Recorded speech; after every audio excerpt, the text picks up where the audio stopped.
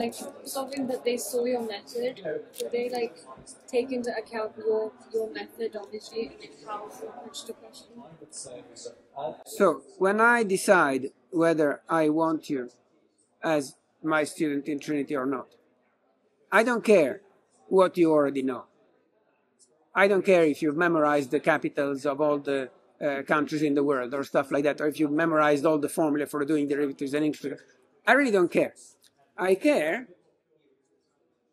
how do you approach a problem that you can't solve.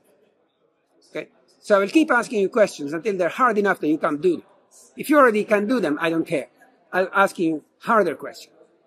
Once we get to a question that you can't do, then the interesting part begins. And say, okay, do you get frozen and stuck?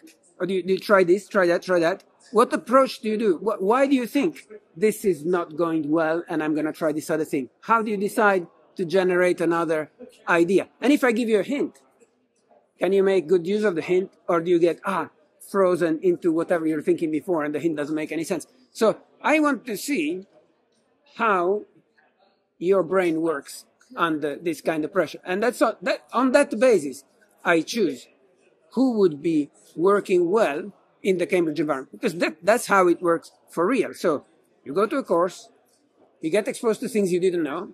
Some of them you understand, some of them you don't understand.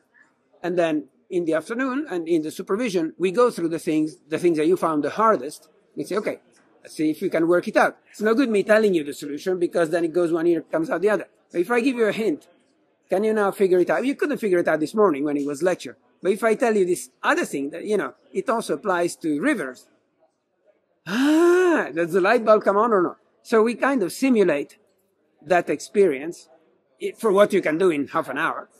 And then we try to do our best to figure out, well, actually, this person has it. Or this person is very clever, but is very formulaic. It wouldn't work. So don't worry if you can't answer the question, because by design, you won't be able to answer. If it's, if it's a question we ask, you won't be able to answer that. It's not a sign of failure. Okay.